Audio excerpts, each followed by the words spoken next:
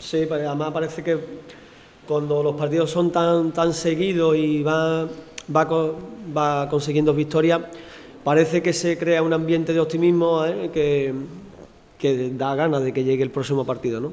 Eh, esa es la parte buena, la parte mala es que tienes poco tiempo para disfrutar de las victorias. ¿no? inmediatamente tienes que preparar otro partido.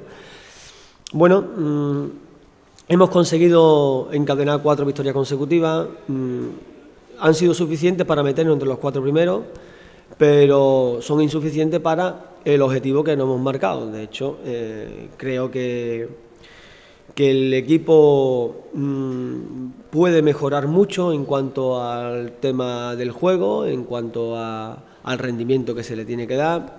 Y esa mejoría yo creo que va a llegar en, cuanto estemos todos disponibles, en cuanto nos asentamos un poco, ¿no? Eh, y creo que hace un, no sé, hace seis o siete días dije que a partir del mes de febrero, inicio de febrero, yo creo que todo el mundo se va a recuperar, todo el mundo va a coger ese, ese puntito de forma que creo que vamos a, vamos a, dar un, subidón en cuanto a juego y a, y a resultados.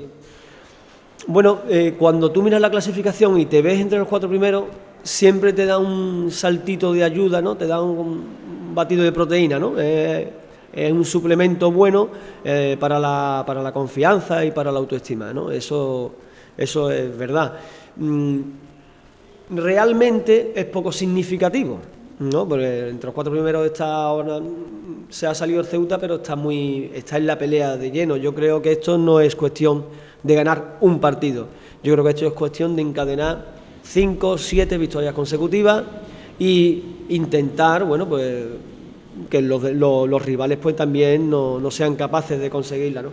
Pero eh, coincido contigo en que mirar la clasificación y ver entre los cuatro primeros es, un, es una ayuda moral. Cuando nos pusimos a confeccionar la plantilla, Mm, yo quería, ¿no? Eh, o, mi intención era hacer un equipo para casa y otro para fuera de casa. Me explico.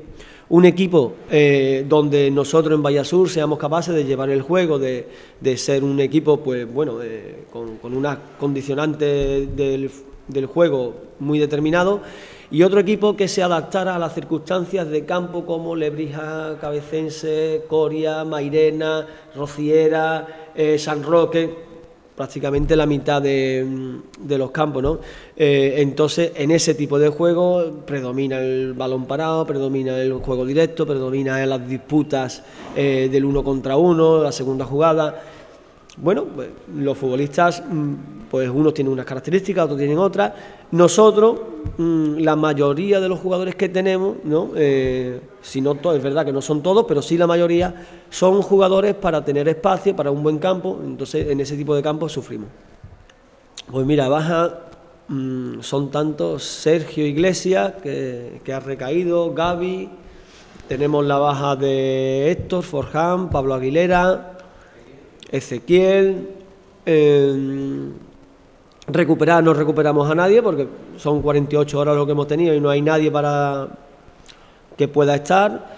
Lo único que Tati Maldonado estuvo suplente porque tenía unas molestias, apuramos un poco porque no queríamos cargarlo mucho y yo creo que el domingo sí va, va a poder estar, ya tiene bastante mejor el aductor, una sobrecarga, pero si entre hoy y mañana, hoy no porque prácticamente no hemos hecho nada, pero si mañana se resiente otra vez de la molestia, pues no volverá otra vez a jugar.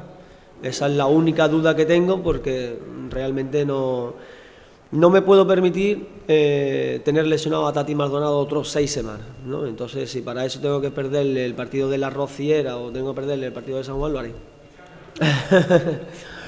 Eh, no, de momento se vinieron antes de tiempo, ¿no? Vino José Mari, vino Jesús, ¿eh? nos adelantamos, eso fue Papá Noé, aunque seamos nosotros más de Reyes, eso fue Papá Noé.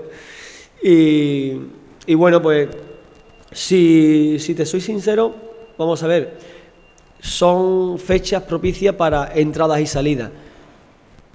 El San Fernando no es un club, es un club como otro cualquiera, en todos pasa esto, ¿no? Eh, en ese sentido nosotros vamos a, vamos a estudiar la plantilla, mm, vamos a hacer retoques o queremos hacer retoques, pero después está la oferta y la demanda y dinero manda y las pretensiones de, de, jugadores, de otros equipos, en fin, hay que, hay que ajustarse, ¿no? Pero la intención es que se pueda modificar cosas.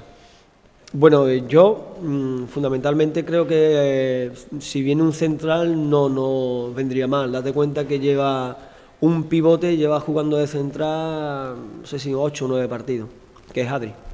Entonces era un, es un chaval que es pivote y que por una cosa o por otra, al final eh, lleva 8 o 9 partidos de central. Entonces creo que necesitamos un central y a ser posible zurdo, pero no tenemos ninguno.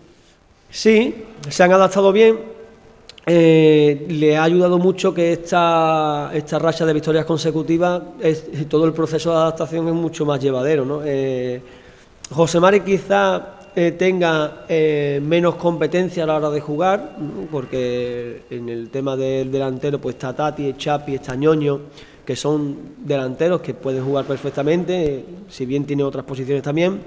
Entonces, quizás parece que él se ha adaptado un poco más porque de, mm, de nada más llegar ha tenido la posición cogida, los conceptos más o menos defensivos los tiene cogidos. Eh, con el tema de Jesús ha tardado más en entrar de titular, cuando ha entrado lo ha hecho creo que bastante bien y, poco a poco pues, tendrán que ir sumando. La, la, clave de todo es que los dos lleguen y aporten cosas, ¿no? y para eso es clave que no se lesionen.